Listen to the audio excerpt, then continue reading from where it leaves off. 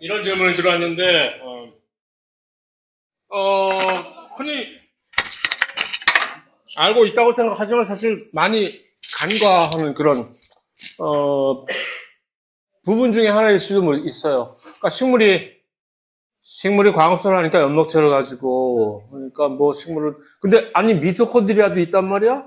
왜냐면 엽록체 안에서 사실 이 세- 탄소 동화 작용을 해서 이 자기들의 밥을 만들기 위해서 ATP를 사실 합성을 하고 요 이제 다음 장에서 우리가 곧바로 어, 건너뛰어서 이제 광합성부터 아니 광합성이 아니라 세포 유기 호흡부터 볼 생각인데 중간에 있는 그 그거는 건너뛰고 어차피 우리 등장액, 고장액, 저장액 그거 다 했잖아요 이미 실험 시간에 그래서 그럴 계획인데 아니 하나 아니나 좀 해야 되나 거기도 잘 모르겠다. 음.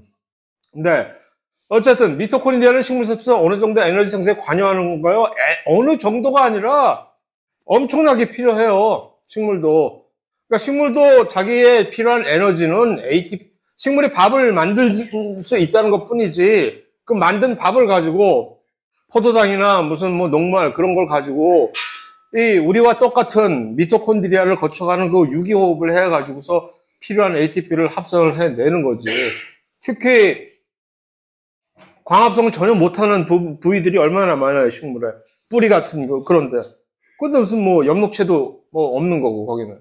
그래서, 어, 식물도 미토콘드리아가 있으며, 우리와 똑같은 그 ATP 합성을 위해서 걔네들이 연료를 해줘야 된다라고 다시 결론 질 수가 있습니다. 자, 이거,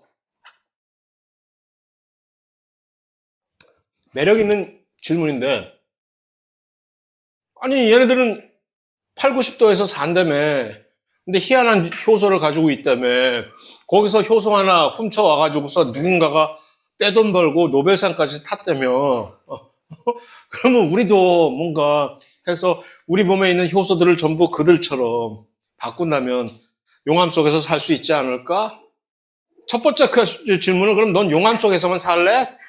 일로 안 내려올 거니? 라고 물어봐야 될 것이고, 어, 두 번째는 그 효소 한, 한두 개를 바꾸는 거를 좀 떠나서 그들은 작은 세포이고 우리는 이런 다세포 생물인데 얼마나 많은 개조를 해야 될까.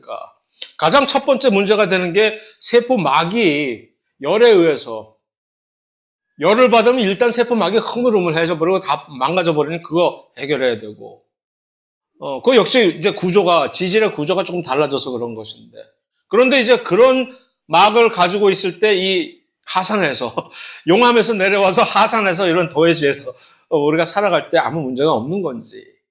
그러니까 여러 가지 문제가 있죠. 물론 하나하나를 그런 식으로 적용을 해 나가서 개선을 해 나갈 수가 있다면 그런 세상이 왔고 사실은 여러 가지 조작을 해서 막 우리의 유전자를 바꿀 수 있는 세상이 왔기 때문에 어 이제 우리가 환경도 바꿀 수 있고 거의 환경을 바꿀 수 있는 능력을 가지고 거의 나쁜 쪽으로만 환경을 변화시켜서 그렇지. 어쨌든 인간이 어쩌다 보니까 이제 어, 환경을 바꿀 수 있는 능력이 생겼단 말이야.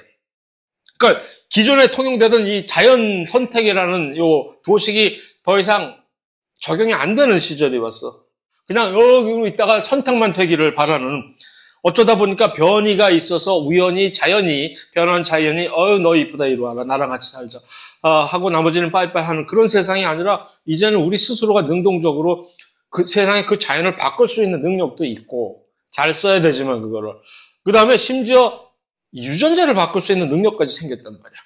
그러니까 변이가 그냥 가만히 우연히 생긴 게 아니라 우리 뜻대로 우리를 변화시킬 수 있는 능력이 생겼기 때문에 그걸 가지고 이제 어떻게 사용을 해서 세상을 어떻게 바꿀 것인지 아니면 세상을 어떻게 안 망가뜨릴 것인지 잘 생각해야 되는 그런 어, 시점에 와 있습니다. 이거 질문 잘했어요. 이거 아주 그냥 넘어가려고 그랬는데 리보점 앞에 78 쓰는데 본 적이 없긴 하지만 어쨌든 무슨 얘기인지 알겠어. 그래서 S가 계속 까먹는데 나도 S가 이 사람 이름인데 이걸 계속 까먹는다고. 어, 이상한 나라 사람이니까 그렇지. 뭐. 그 Svedberg라고 아유 발음도 Svedberg unit이라고 하는 이 사람이 처음으로 고안해낸 유신, 유신인데 조금 더 알아듣기 시작하면은 침강계수, sedimentation이라고 해도 둘 다 똑같은 S니까. 침강계수하면 대충 뭔 소리인지 알겠지.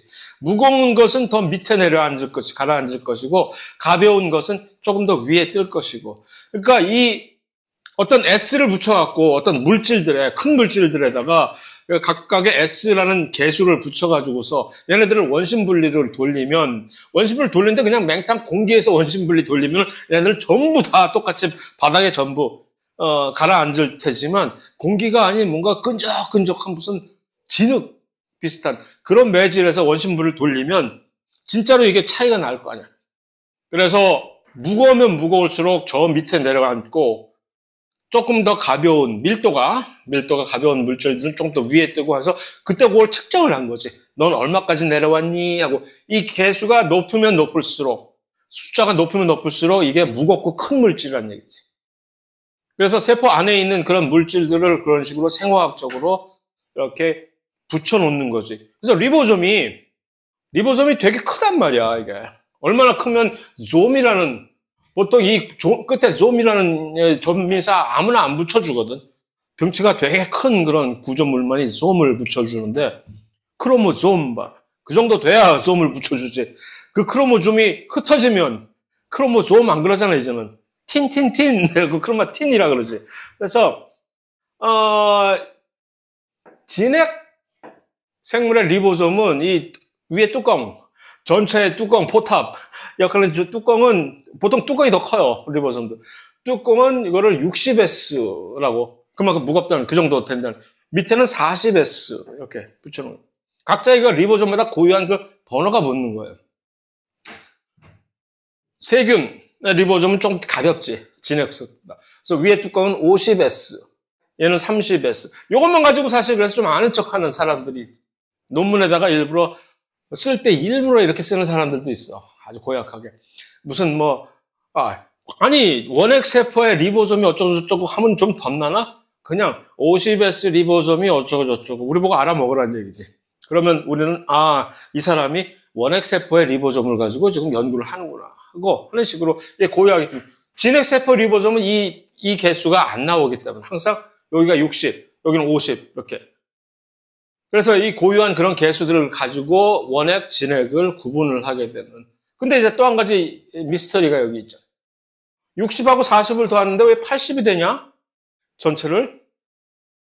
이 산수들을 못하는구나, 이놈. 50하고 30을 더했는데 왜 70밖에 안 돼? 그러니까. 이건 왜 그러냐면, 산술적으로 이게 50이 30에서 더하면 70, 80이 돼야 돼. 그게 아니라 얘네 둘을 같이 뚜껑이 이렇게 닫힌 채로 이 돌려보면 실제로 측정해 보면 70, 그러니까 얘네들을 같이 돌리면 조금 더 컴팩트하게 되니까 개수가 실질적으로 측정값이 70이 나온다는 얘기죠. 실제적으로 측정된 값이기 때문에 여기다가 터 달지 말라. 얘기죠. 아니, 왜 50하고 30을 더하기도 못해? 아니야. 전체 다 합하면 70이야. 얘는 전체 다 합하면 100이 아니라 80이야. 그러니까 어쨌든 간에 진핵과 원핵의 고유한 리보솜에 대한 그 S, 침강계수 번호가 각각이 전부 고유하게 구분이 되는 그런 게 있잖아요. 그러니까 얘 누군가가 속이려고 아 이건 무슨 80S 리보솜을 갖고 있는 그런 어, 세포는 어떤 세포일까요? 라고 묻는다면은 어 80S 전체 합한 거구나 그건 그러니까 얘는 진핵 세포네 하고 답을 하면 좋은데 그런 그런 넌센스 문제는 사실 조금 문제를 낸 사람이 좀 부끄러워야 해야 될 그런 일이죠. 자, 그게 바로 S를 사용하는 그런 거라. 그래서 미토콘드리아나 이제 어, 특히 미토콘드리아나 저또 엽록체 리보솜도 마찬가지고 내부 공생 이론을 설명할 때 리보솜이 얘네들은 이 우리의 진핵세포의 리보솜과 같은 게 아니라 원핵세포의 것과 가깝다고 했잖아요. 그게 바로 하나의 증거로 사용될 수 있다고. 보면 진짜 세균의 리보좀 70S에서 50과 30 이렇게 딱 되는데 얘네들은 보면 조금 다르긴 하지. 우리 세, 우리 몸속에서 같이 살아오면서 풍상을 겪었으니까. 어쨌든 이게 우리 번호는 아니잖아. 이게 이쪽이 40이고 이쪽이 60이 어, 돼야 되는데 60과 40이 돼야 되는데 이건 훨씬 몸 밑에는 39, 28이 돼. 그래서 전체로 이게 55S가 되는데 중요한 거는 뭐냐면 얘네들은 그래가지고서 이건 뭐야? 테트라사이클린, 이리스로마이신, 클로람페니콜 전부 다 뭡니까 얘네들? 기억나요, 아직도? 테트라사이클, 마이신, 뭐라 그랬어? 이 세 가지 이름 기억나요? 안 나도 좋지만, 테트라사이클린, 에리스로마이신, 클로람페니콜. 항생제. 그러니까 이거 전부, 이 항생제들은 전부 왜 항생제로 쓰이느냐 하면은 단백질, 세균의 단백질 합성을 저해하기 때문에 그런 거야. 왜? 이 리보좀을 저해하니까. 세균의 리보좀만. 진핵세포 리보점만 안 건드려. 그러니까 얘네들이 항생제로 쓰일 수가 있는 건데, 문제는 얘네들의 민감해, 얘네들도. 그러니까 우리가 이런 계통의 항생제는 남용을 하게 되면 우리 몸 안에 있는 미토콘드리아에 있는 리보점을 건드리게 돼가지고서 우리도 영향을, 서 약간의 부작용이 있다는 얘기죠. 그래서 이러한 잠재적인 위험을 가지고 있는 우리 몸 안에 있는 원핵세포의 그런 특성 때문에 잠재적인 그런 부담을 가지고 있습니다.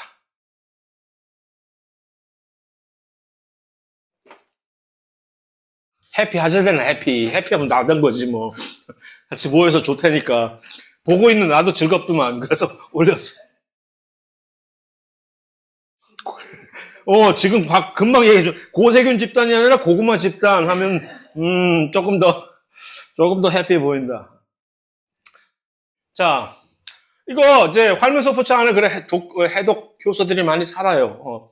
그럼 활문소포체만 넓으면 술 잘, 어, 이렇게 해독할까? 그건 아니고, 이 안에 있는 특정한 효소가 부족한 사람들이 있어요. 그 특히 그 알코올 분해 효소를 하는 무슨 알코올 탈수소 효소라, 뭐 그거. 그러니까 유전적으로 동양인들이 많이 그러면 이제 얼굴이 분명 빨개지지. 그래서 그 그런 거지 뭐 활면소 포체 자체에 관련은 없는데 물론 그래서 사실 기능에 의해서 활면소 포체가 발달이 이렇게 비례하는 경우가 사실 많아요. 그러니까 간 같은 경우는 활면소 포체가 아무래도 많이 발달이 돼 있겠지. 예.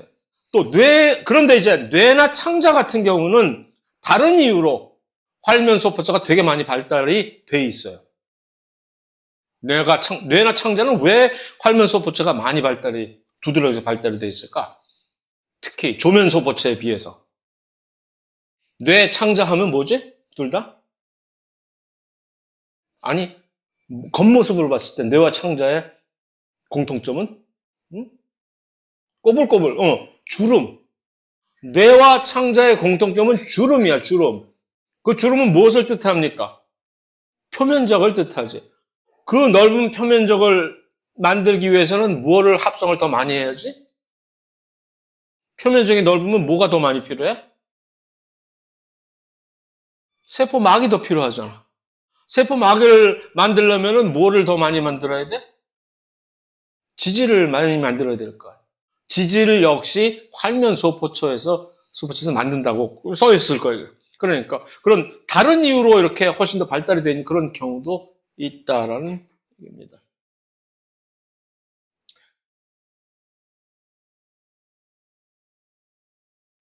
이런 질문 대충 많이 하는데 사실 이거는 정말 개인차가 있는 거기 때문에 도대체 몇 퍼센트라고 이게 가늠하기가 정말 사실 힘든 거지. 다만 왜 환경이 어떻게 미치느냐 쌍둥이에게 원래 유전적으로 100% 동일해야만 되는 이 일랑성 쌍둥이가 환경에 의해서 이 둘의 어떤 그러니까 이 형질이 어, 달라지는 그런 메커니즘이 뭐겠느냐라는 얘기지. 의한 유전자 발현의 차이가 나겠지. 그러니까 여기서도 우리는 다시 후성 유전학 그런 게 이제 또 튀어나오기 시작한 게 또 이제 소환이 되는 거죠.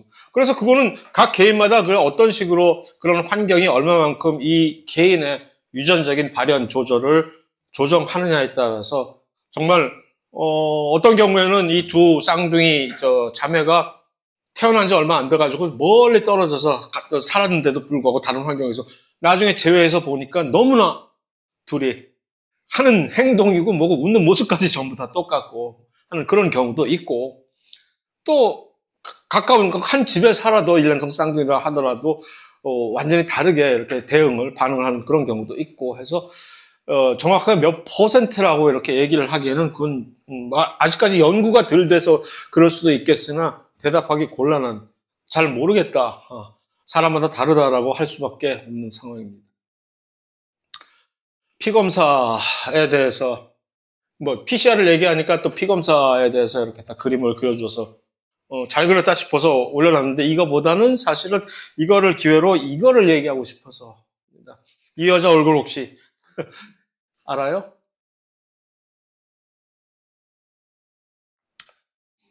뭐 그다, 그다지 이렇게 뭐 비호감을 줄 만한 그런 외모는 아니기에 아니기에 사람들한테 훨씬 마케팅 측면에서 많이 어필을 한 측면도 있긴 해서 더 사태가 퍼, 어, 커지긴 했으나 어, 세라노스 근데 이거 테라노스 한국말로 한국말로 이걸 하면은 이렇게 쓰잖아 T를. 테라 노스라고 그래가지고 나는 얼핏 테라노스로만 들어가지고서 이게 원래 뭔지 모르고 테라노스? 무슨 타노스야? 공룡? 공룡 생각이 나가지고서 오늘 이제 이걸 대답을 해주려고 이거 연결, 연관시켜서 대답하려고 검색을 하는데 갑자기 이름이 생각이 안 나는 거야. 이, 이 회사 이름이, 이, 이 여자가 세운 회사 이름입니다, 이게. 세라, 시라노스라는 이름인데, 그래서 찾으려고 처음에 뭐지, 뭐였지, 이상한 뭐 노스였는데 하고 타노스를 치니까 뭐 이상한 이런 애가 튀어나오고, 그래서 뭐지? 어떻게 찾아야 되지, 이거? 하다가 결국 어떻게 쳤느냐 하면은, 어, 혈액 진단 검사로 사기친 여자. 딱 쳤더니, 딱 나오는 거예요. 이 여자 얼굴이 딱. 맞아요. 혈액, 혈액 하나로 진단 검사해서 모든 거를 다 검사할 수 있다고 개사기를 쳐가지고, 한때 완전히, 스티브 잡스 닮지 않았어요? 이게 옷차림이 일부러 그런 거예요. 일부러. 일부러 지가 이 캘리포니아 스탠포드를 중퇴를 했거든. 그러니까 그거 역시 뭐 누구는 뭐 MIT 중퇴하고 누구는 하버드 중퇴하고 전부 잘 나가는 사람들은 거의 명문대를 중퇴해야 된다는 그런 일종의 그래서 나는 스탠포드 중퇴했어 하면서 이제 나도 충북대 중, 중퇴했다 아이씨 뭐 이러고 뜰 수 있는 그런 얘기인데 어 그래가지고 이 회사를 설립을 CEO가 돼가지고서 이 회사가 한때 시가총액이 그냥 막 어, 뭐 너도 나도 모든 사람 왜냐하면 이래가지고서 모든 사람들한테 혈액 샘플을 받은 거야. 그래서 미국의 그 전역에 있는 그 이 체인 약국 체인 월 Walgreens이라는 그 체인이 있어.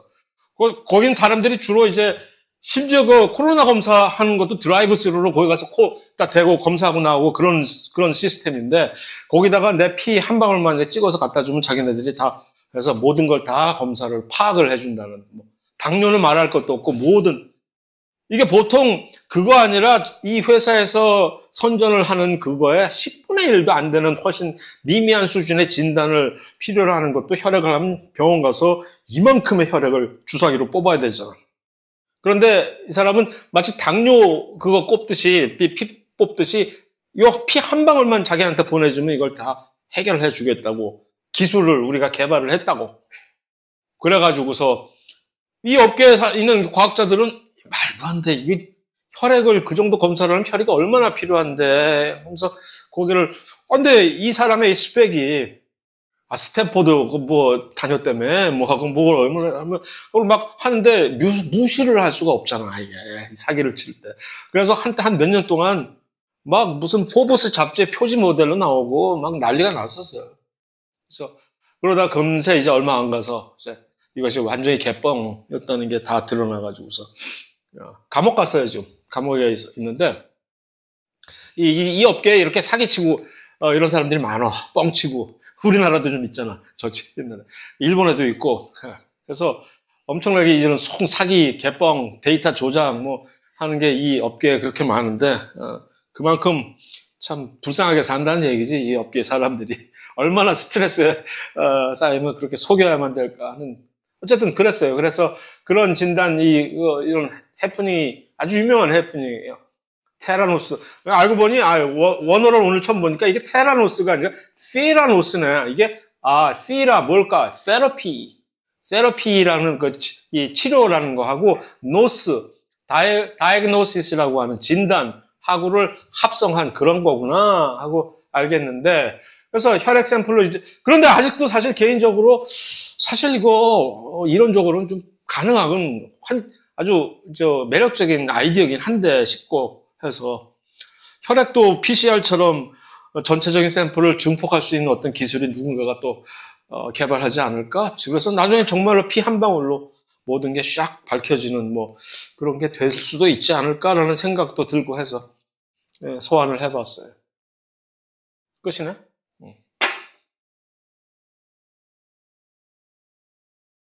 자, 그래서, 음, 이 접촉제 구실을 한다고 했죠. 그러니까 이 세포의 기질 단백질은 일단은 쿠션, 신축성 쿠션 보호로 하는 기능도 있는 단백질이 있고 또 다른 종류의 단백질들은 접착제 구실을 해가지고서 딱 고정을 시켜놓는 그런 어, 둘 다 세포 바깥에 있는 단백질로서 있을 법한 기능이라는 얘기지. 아 그런 기능이 있으면 예, 다세포 생물로서 우리 동물이 살아가는데 도움이 되겠구나. 또 한 가지 뭐 없을까 그럼? 세포의 기질 단백질들을 그런 식으로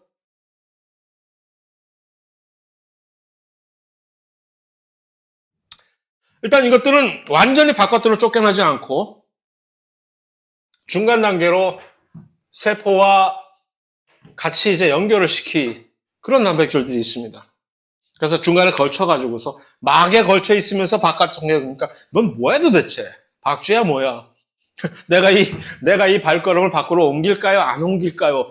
라고 묻는 것처럼 그런 단백질들이 어, 여러 가지 몇 가지 단백질들이 있습니다. 그래가지고 이들은 세포 자체들을 바깥쪽에 있는 그 기존에 원래 있는 마치 우리가 지하철 같은 데서 손잡이 잡고 이렇게 대중 버스에서 손잡이 잡고 이렇게 고정해서 하는 그런 역할처럼 이들이 이렇게 이 세포 자체를 그런 딱딱한 이미 고정되어 있는 어떤 그런 길들은 바깥에 콜라겐이나 뭐 그런 것들이 이미 깔려 있잖아. 그런 것들을 잡고서 이 세포들이 어느 한 위치에 그대로 있게 해주거나 아니면 뭐 여러 가지 그러한 역할들을 해 줍니다. 또 어떤 단백질들은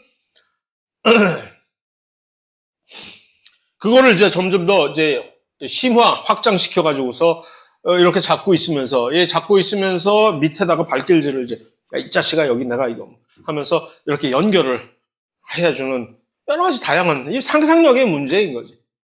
그러니까 그런 것들이 있게 되면 이것을 어떻게 써먹을까라고 하게 되면 아 이렇게 써보니까 좋더라 하면 계속 이제 어, 써서 하는 것이고.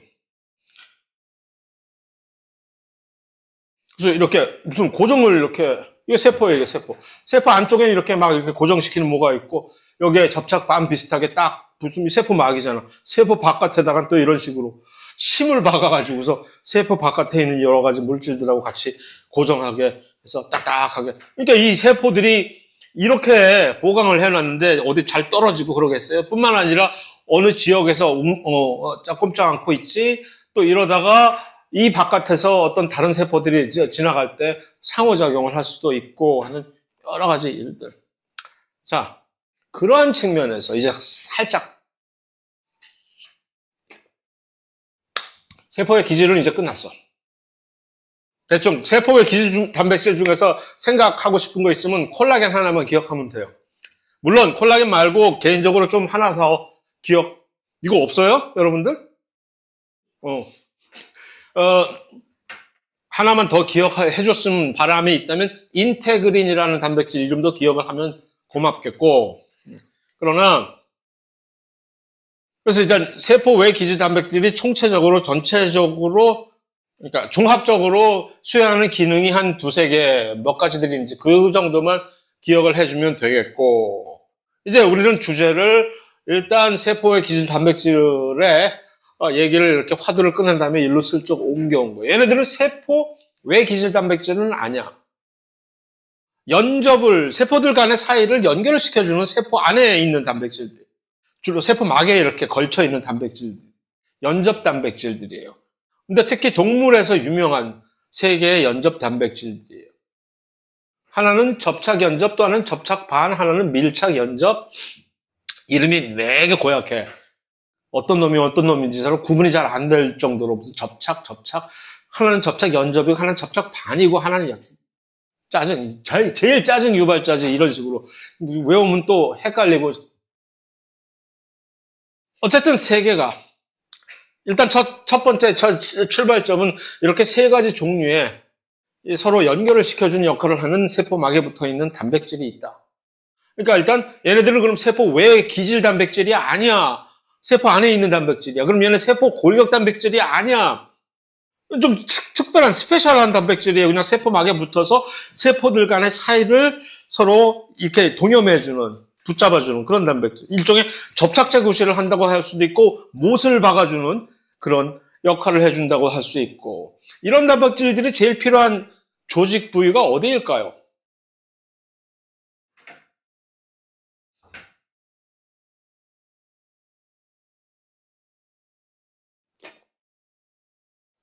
서로 스크럼을 짜야만 지금 무슨 데모하러 왔나 이것들? 스크럼을 짜야만 살아남을 수 있는 세포들이 누굴까 주로? 그게 중요한 세포들 우리 조직에서. 음, 상피세포예요. 왜? 여기가 뚫리면 여기가 뚫리면 그냥 그대로 속으로 모든 것이 다 침투가 돼가지고서 이 속에 난리가 나는 이 상피는 정말 중요한 밖으로 대표를 하면서도 또 보호를 해줘야 되는 그런 막이란 말이야. 그러니까 이 상피세포들 사이의 틈 사이로 그러니까 상피세포들이 딱 버티고 앉아서 니들이 어딜 들어가 나한테 물어보고 들어가 하고 세포막에 전부 아 오죽하면 그 상피세포들이 세포막을 그냥 이렇게 넓혀놓고 어, 주름을 잡아놓고 주름 잡아놓고 기다리고 있는데 이것들이 옆으로 싹 어, 새길로 들어가 버리면 얼마나 약, 약 올라. 고속도로에서 진짜 갓길로 가는 놈들만큼 때려 죽이고 싶을 어, 약이 오를 거거든. 그러니까 그걸 안 하려고 이 옆에 사이사이를 완전히 딱 sealing을 해야 되거든. 그 sealing을 이 셋이서 협동작전으로 해준다는 얘기죠. 그래서 상피세포가 이들이 정말 유명해요. 그래서 순서대로 사실 딱딱딱딱 있어. tight, adherens, gap junction, 또 desmosome 하는 식으로 이 gap junction은 조금 있다. 예, 기능이 좀 다르니까 요 세 군데 세 개의 다른 요 그런 연접 단백질들이 예를 들어서 tight junction이라고 하는 tight junction 한국말로는 얘가 뭐였지? tight junction이 어, 밀착 연접이구나. 밀착 연접이라고 하는 이, 이 어, 얘는 주로 대부분 제일 위에 모여 있어. 왜냐하면 얘가 1차 방어선이기 때문에. 얘는 무슨 기능을 하냐면은 이 생긴 게, 그러니까 지퍼 있잖아요, 지퍼. 지퍼처럼 이렇게 쫙 올려가지고서 여기에 물도 여기 못 들어가게 여기를 딱 막아버리는 그런. 그러니까 이 세포 사이로 무언가가 흘러 들어가려고 이렇게 하면 얘가 여기를 여기서 딱 기다리고 있기 때문에 더 이상 못 내려가는 거죠. 그래서 이런 것들이 가장 높이 먼저 있는 게 좋겠죠. 이 이득일 거 아니에요. 그 다음에 얘네 둘은 이 둘 간의 사이를 기계적으로 이렇게 연결을 좀 접착제처럼 약간 붙여놓는 신축 이렇게 딱 붙여놓는 거고 가장 밑에는 튼튼하게 혹시 또 모르니까 이거 마치 무슨 피아노 선 박아놓은 것 같은 무슨 볼트 박아놓은 것처럼 튼튼하게 해가지고 이거는 desmosome이라고 desmosome이 한국말로 접착반이었나 아마 어, 그랬을 거야. 그래서 이런 식으로 위치도 조금씩 다르고 각각의 기능도 살짝씩 다른 세 개의 연접이 이렇게 위치를 하고 있는 겁니다. 특히 요 tight junction이라고 하는 또 까먹었네 한국말로 tight junction이 뭔지 tight junction이 뭐였지? 어, 밀착 연접. 아 젠장. 밀착 연접이라고 하는 요 연접 단백질은 밀착 연접 요거 덕택에 어, 그 유명한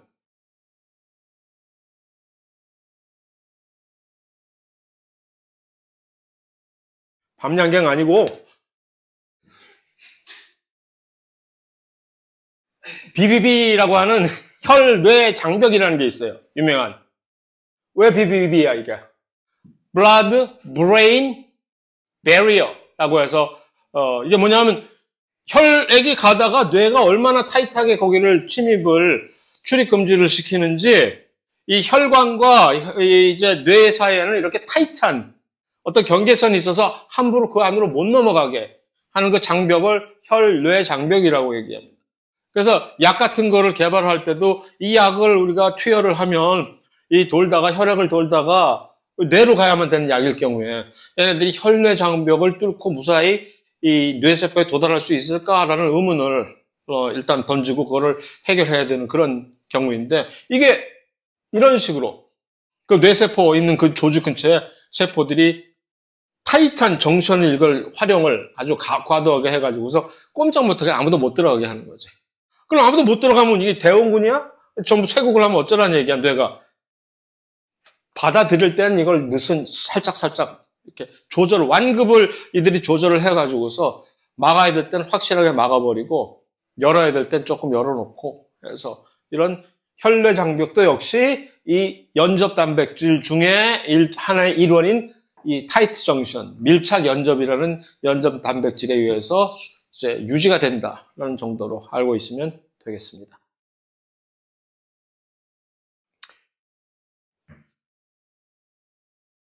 다 끝이 보인다 이제. 그래서 세 개는 그런 식으로 연결 시킨 단백질인데 요맨 주로 이제 제일 밑에 있어요.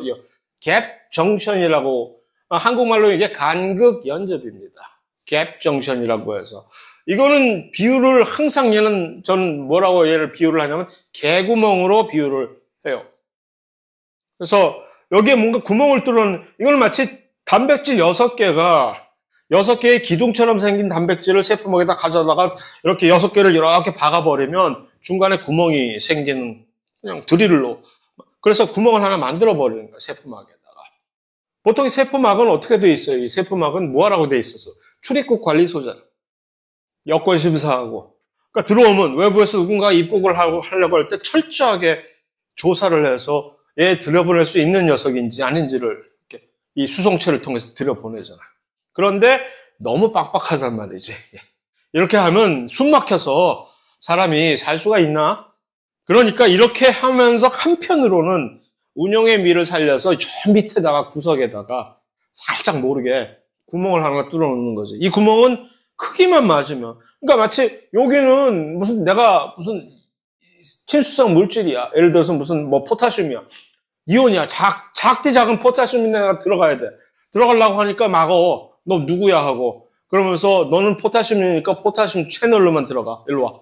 그래서 포차는 채널을 통해서만 들어가, 들어가고 싶으면 어떤 조건에. 그러고 살다가 이렇게 어찌저찌 하면 이, 이들 간에는 이 자기들끼리는 이렇게 이 서로 연접한 상피세법끼리는 야 우리가 우리끼리인데 뭐 자유무역 해야지 하면서 물건을 왔다 갔다 그냥 하는 거야 이건 크기만 맞으면 이 구멍에 들어가서 왔다 갔다 할 수 있을 정도의 크기만 되면 어떤 물건인지 왔다 갔다 할 수 있게 이렇게 통로를 만들어 놓은 것이 갭 정션입니다. 간격 연정. 그래서, 그래서 한편으로는 이렇게 통제를 엄격하게 하고 또 다른 한편으로는 어, 물질의 소통을 훨씬 또 원활하게 해주는 두 가지 방편으로서 운영의 묘를 살려서 세포의 전체적인 뭐 생존성을 높인다고나 할까요? 뭐 그런 거고. 그런데 이제 이게 이렇게 이렇게 좋은 게 있으면 너만 써 식물도 배워야 될 거 아니야. 식물도 식물도 나도 그거 하자 해가지고 식물 세포도 자기들끼리 어떤 물질 소통을 이렇게 할 수, 그렇게 하게 만들어 놓은 것이 원형질 연락사라고 하는 것입니다. 그래서 이 둘은 기능적으로, 기능적으로는 동일한 기능을 가진 겁니다. 간극 연접과 원형질 연락사는. 그런데 문제는 구조적으로 보면 이 둘은 달라도 너무 다른, 뭐로 가도 서울만 가면 된다라는 게 여기서 통하는 어, 그러니까 이 간극 연접은 아까 얘기했듯이 단백질들이 이렇게 구멍을 제공해 준 것인데 원형질 식물, 식물에서 이거 역시 아, 식물이 똑같이 동물처럼 하려고 아 쟤네들 보니까 그냥 단백질로 갖다 여기다 푹 꼽아버리더라. 그러면 여섯 개만 꼽으면 구멍이 생기더라. 하고 자기네들도 하다가 보면 어떻게 돼? 그 단백질 전부 머리가 완전히 박살나겠지. 어디에 부딪혀서? 세포 벽에 부딪혀서. 그러니까 그러면 안 되지, 얘네들. 그러니까 얘네는 다르게 어떻게 우리가 문을 딱 열었을 때 문이 안 닫히게 하려면 여기다 보통 뭐 가다 여기다 뭐 이상하게 끼워 놓잖아요. 카페트 같은 거 여기다 쭉 끼워 놓잖아.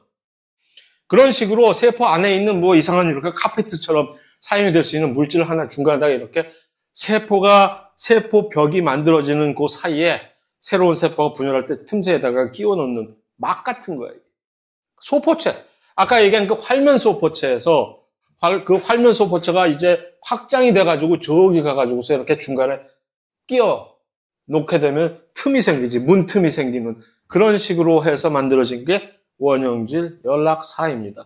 자, 이거는 전자현미경과 그림 형상의 간격 연접을 보여주는 것이고요. 이쪽이 전자현미경 열렸다, 열렸다, 닫혔다 하는 이런 것이고, 이건 이제 식물에서 두 개의 세포 벽이 이렇게 딱 있는데, 세포 벽을 뚫고 이 양쪽에 막이 이렇게 걸쳐 있으면 이 막과 요 막과 세포 벽 사이에 요 정도의 틈이 생기잖아요. 요 틈이 우리에게는 아이고 저 틈으로 누가 뭘 어떻게 지나갈까 하는 것 같지만 이 틈이 엄청나게 큰 틈이라는 거지. 그래서 이 사이로 물질들이 마치 어, 동물에 있어서의 간격 연접처럼 서로 왔다 갔다 하는 그런 얘기라는 얘기. 물질이 이렇게 왔다 갔다 하는데 문제는 물질만 왔다 갔다 하는 게 아니라 요 틈으로 식물을 감염한 바이러스들도 요 틈으로 왜냐하면 식물의 바이러스 식물 바이러스가 딱 들어왔는데 얘네들이 착륙을 했을 때 대박하고 좋은데 제자리에 착륙했어라고 할 확률은 거의 희박하거든. 그러니까 바이러스라는 애들은 뭡니까? 기본적으로 숟가락 하나만 달랑 달랑 들고 들어오는 애들이잖아. 아무것도 안 가지고 숟가락 하나 들고 가지고서 어, 우리가 밥상 차려놨을 때 가서 같이 밥 먹고 이제 밥상 완전히 없고 하겠다는 게 바이러스들의 기본 지금 생활 전략이잖아. 이 나쁜 놈들이. 근데 이제 숟가락 하나 달랑 들고 딱 들어왔는데 밥상이 차려져 있는 세포가 몇이나 되는 얘기지. 여기서 비유하는 이 밥상이 차려지는 세포는 어떤 세포입니까? 세포가 세포 주기가 활성화되어 있는 세포. 막 분열을 막 하는 그런 세포. 왕성한 세포라 해야 돼. 거의 대부분의 이 분화된 세포는 분화된 세포는 더 이상 세포 분열에 관심 없어. 그냥 나 이제 다 끝났는데 뭐 이제 뭘 그러니까 이 세포의 어떤 대사 활성이 그다지 높지 않단 말이야. 그럼 바이러스가 와가지고 얘가 DNA가 됐든 RNA가 됐든 뭐 일단 어떤 큰 이제 activity가 있어야 자기도 여기 같이 끼어가지고 그걸 일단 이제 어 인터셉트 해가지고서 지가 살아나는데 그게 안 되니까 그러면 여기 이런 완전히 적막한 고도에 무인도에 갇혀서 죽으라는 얘기야? 그러니까 어디 가야지 딴 데로. 동물 세포는 얘네들을 왔을 때 어떤 전략을 찾아하면 이렇게 동물 세포가 딱 들어갔을 때 분화된 세포에 감염을 하면 아유 뭐 됐다 어쩌지?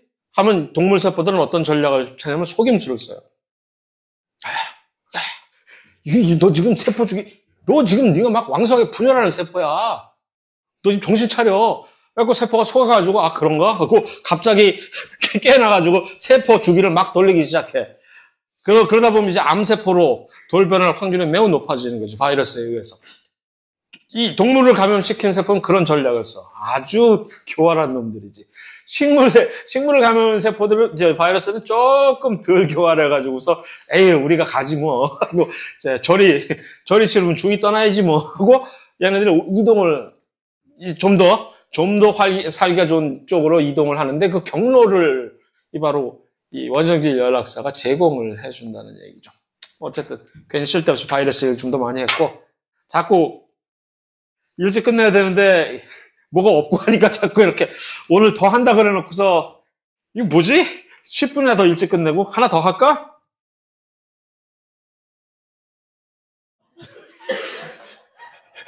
바라보, 아, 이쪽에 미쳤나?